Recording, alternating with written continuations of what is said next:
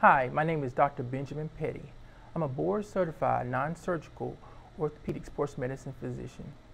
Biologics have been used in other fields of medicine for many years, and recently it's been growing in the field of orthopedics. What we use in orthobiologics is your own autologous blood or bone marrow. Within your blood and bone marrow, you have certain cells and certain growth factors.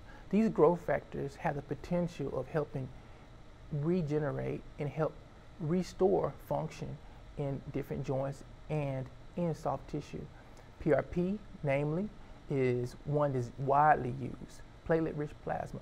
What we do is we take a sample of your own blood, we spin it in a special centrifuge and separate most of the red blood cells from the plasma and the platelets. And then we take this and inject it under ultrasound guidance, like the ultrasound I have here.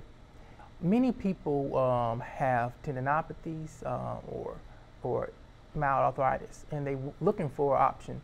Well, orthobiologics may be the option for you. I welcome you to come see me at Emerge Ortho.